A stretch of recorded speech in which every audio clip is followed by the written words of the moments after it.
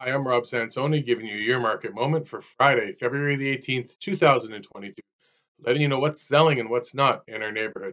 Currently in the High Park, Parkdale, and Roncesvalles area, we are seeing a little more inventory starting to creep up into the market with 21 homes on the market right now, seven of them listed as new, and only one that's sold conditionally.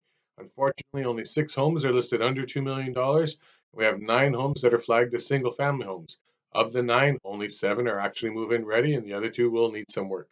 We've had five sales over the past week, and you know what? They did all sell way over their asking price. Looking in the condo market, currently there are 27 condos on the market right now, nine of them listed as new, and two that have already sold conditionally.